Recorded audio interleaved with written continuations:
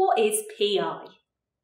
Professional Indemnity Insurance, PI, or Professional Liability Insurance, call it what you like. It does the same vital job for your business. It protects you. And there's a clue to how it works and why you need it in the name. So, starting with the professional bit, that's you. You provide a professional service, whether that be ideas, advice, numbers, designs, or anything else. And as a professional, your client expects you to deliver on what you've promised. Only anyone can make mistakes. And a bad decision or an off day can cause anyone to slip up. And if your client claims that your mistake caused them financial harm, they'll sue you for compensation. Now, Here's where liability comes in. Because as a professional, you're responsible for the quality of work you do.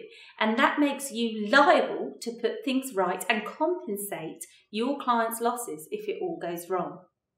The good news is professional indemnity protects or indemnifies you against that. Your insurer takes on the financial burden instead.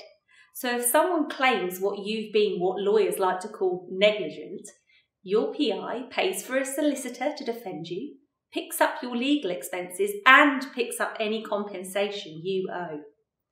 Now, it does that regardless because you'll need expert legal advice whether you think a claim against you will go anywhere or not. And PI protects you in other ways too. It's not just claims of negligence it deals with, but defamation, breaches of confidentiality, intellectual property infringement, and a whole bunch of other things. So, a good way of thinking about professional indemnity is this insurance that has your back if you mess up. And since we all mess up from time to time, that makes it insurance worth having.